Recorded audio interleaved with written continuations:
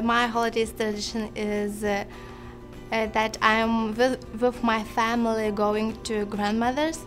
It's uh, like uh, dinner, uh, first for one grandmother's, then for another. We take some dinners from the one table, and in the in the evening with my family, my mother, my dad and sister uh, came home and uh, take uh, like a little celebrated uh, just together.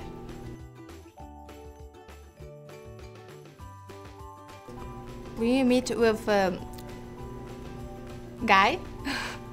we meet with guy, and uh, after the date, uh, I need to go home, but it's no bus or train in the city. So he took me home with a car, but uh, it's take a long time, about three hours. So uh, he took me home and then come back to him city. so it's about six hours long. So I think it was crazy.